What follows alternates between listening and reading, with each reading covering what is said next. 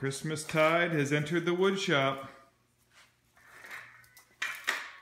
Over this Thanksgiving, I'm going to start putting together some Christmas boxes for the boys. This year will be Knox number two in a different color. We'll also make one for Isaac.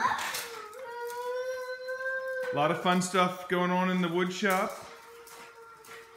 You can see I don't have any of my power tools in here. They're at a shop across Lancaster County. But I do have one power tool here that I'm teaching myself how to TIG weld. I've never done this before, but slowly but surely teaching myself how to do it. You can see my practice welds.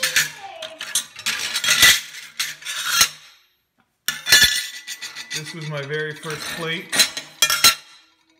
First couple times. Didn't even have the argon turned on or pressure. I had it turned on but not pressurized correctly. Dragging beads. Learning how to add filler metal. Dragging some more beads. Left-handed, right-handed. Doing lap joints.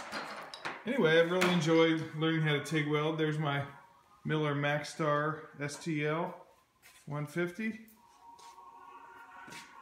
Anyway, the goal for Thanksgiving break is to make a few more boxes. We've got the pieces roughed out. We just need to glue them together